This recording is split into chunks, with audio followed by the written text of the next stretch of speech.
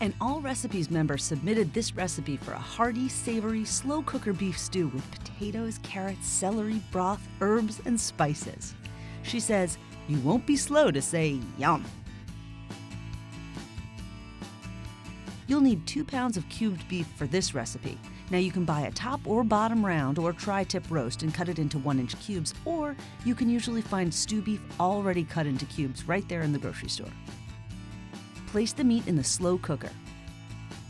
Then in a small bowl, mix together a quarter cup of all-purpose flour, half a teaspoon of salt,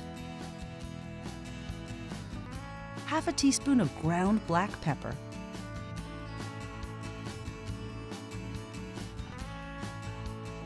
and 1 teaspoon of paprika.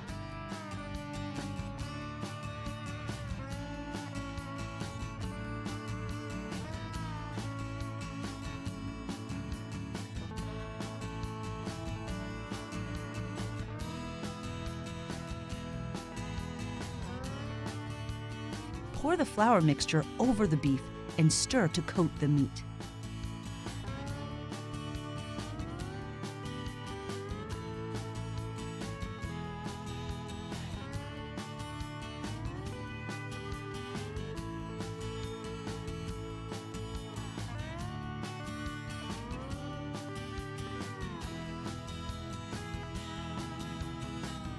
Add one bay leaf and one teaspoon of Worcestershire sauce.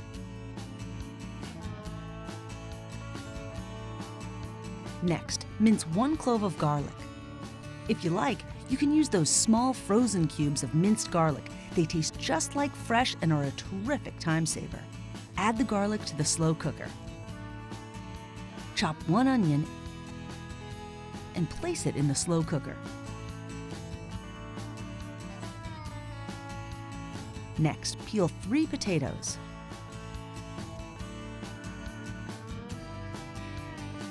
Dice those potatoes and add them to the stew.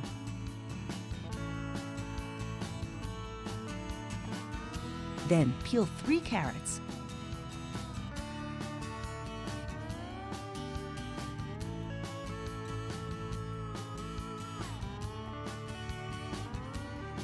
And coarsely chop them up. Then chop one stalk of celery and add those to the slow cooker. Now pour in one and a half cups of beef broth.